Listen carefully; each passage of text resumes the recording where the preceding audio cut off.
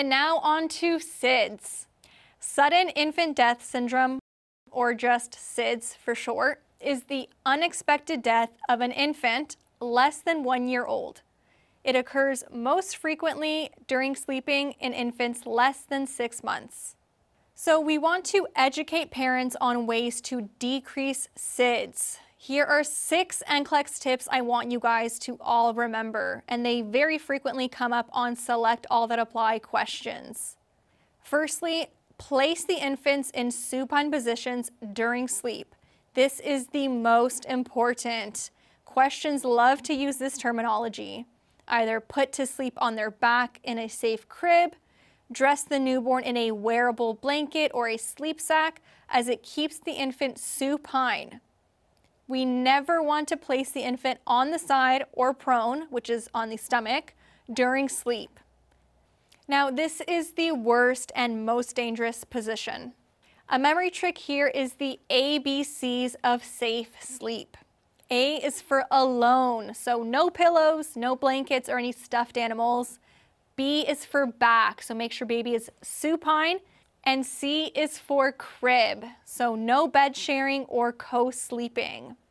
Second education point you want to touch on is to breastfeed the infant. We also want to make sure that the vaccinations are up to date and that the environment is smoke free. Fifth, we want to provide a firm sleep surface for the infant. And last tip for you guys is my big no-no list. We want to avoid sleeping with the infant, so no bed sharing, no co-sleeping, as this can increase the risk of suffocation. Rather, we want to encourage room sharing with a crib instead. We also want to avoid pillows and no loose or soft items. So again, no blankets, no toys or stuffed animals, and definitely no bumper pads on the sides of the cribs. These can come loose and increase risk of suffocation. So if a parent comes to you and tells the nurse, I will tie the bumper pads to the side of my crib to protect my baby's head. No, no, no, no, no, no. This client needs further education. Finally, let's review some risk factors when it comes to SIDS. Firstly, boys are actually at a higher risk than girls. Also, a lower APGAR score at birth. And finally, infants with a caregiver that smoke. So HESI mentions a high risk of developing sudden infant death syndrome. This would be an infant whose mother smokes and an infant with an APGAR score of 4.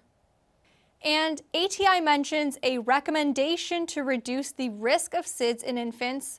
This would be to place the infant in a supine position.